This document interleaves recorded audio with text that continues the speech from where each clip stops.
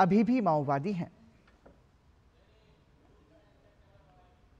तेलंगाना में अनुसूचित जनजाति समुदाय की एक महिला पर अत्याचार का मामला सामने आया है।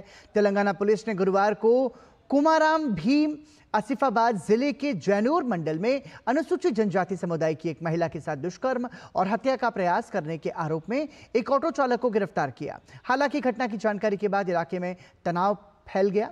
बुधवार को ज़िले के जैनूर में तनाव फैल गया और उग्र भीड़ ने विरोध प्रदर्शन के दौरान व्यापारिक प्रतिष्ठानों पर हमला कर उन्हें आग के हवाले कर दिया, जिसके बाद प्रशासन ने बीएनएसएस की धारा एक के तहत निषेधाज्ञा लागू कर दी है और लोगों से सांप्रदायिक घटनाओं के बारे में फैलाई जा रही अफवाहों पर विश्वास न करने का आग्रह किया है।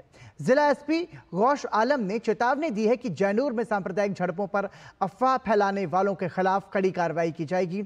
इस बीच राष्ट्रीय अनुसूचित जनजाति आयोग के सदस्य जथोथू हुसैन नायक और तेलंगाना भाजपा अनुसूचित जनजाति मोर्चा के अध्यक्ष डॉक्टर कल्याण नायक ने कोमाराम भीम आसिफाबाद ज़िले के जनूरू की आदिवासी गौंड महिला के बारे में जानकारी मिलने के बाद आज गांधी अस्पताल में पीड़ित परिवार से मुलाकात की।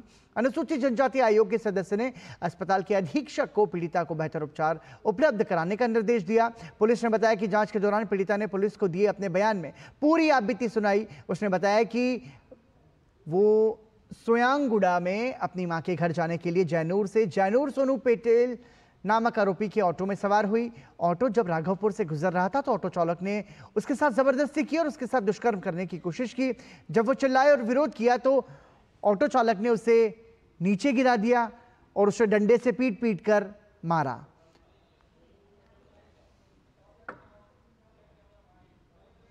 तो ये हमने आपको खबर बताई। हालाँकि इसके बाद में